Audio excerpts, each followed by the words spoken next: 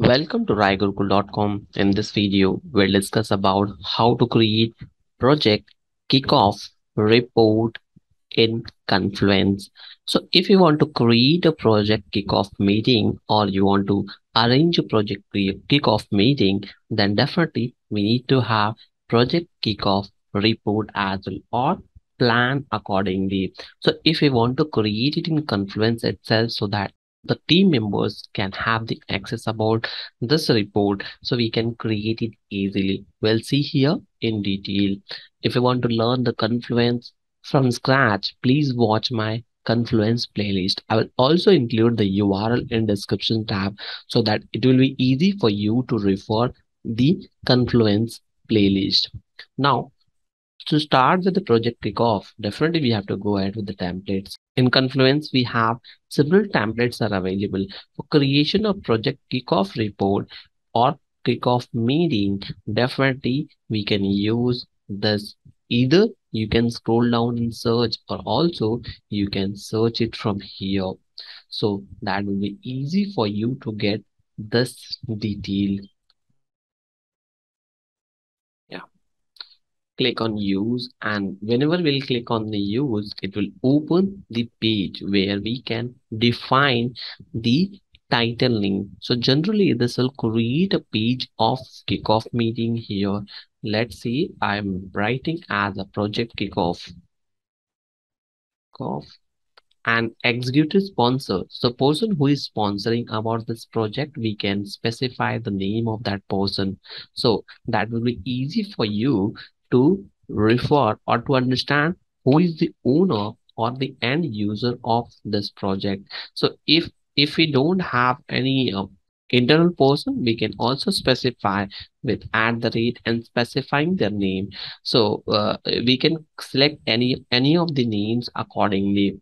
Now let's keep the one here project lead who is the project lead of uh, this project? So definitely we have to define the project lead person.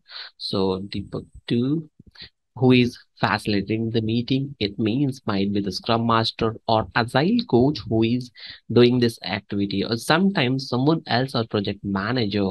So here we have to specify the name of the person. Then the team members. Which all team members who will work inside this project? We have to specify the stakeholders who are the stakeholders and which is the start date uh, we can specify and which all resources are required we can add it here.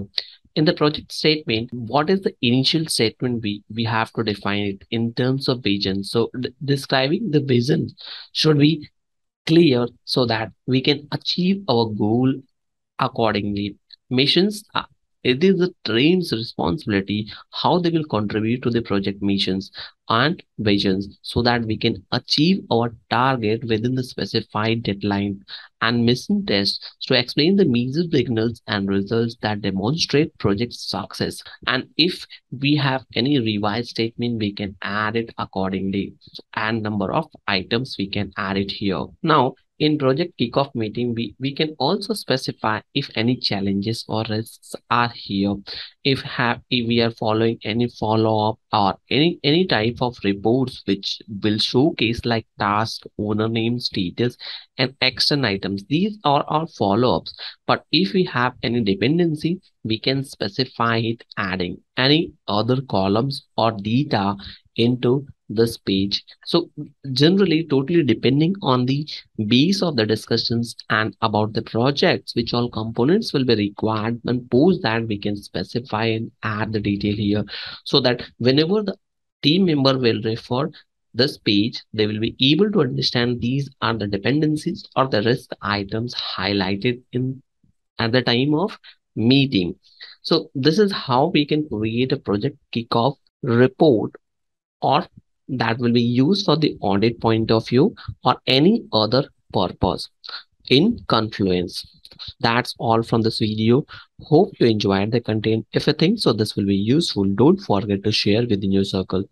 Thank you for watching.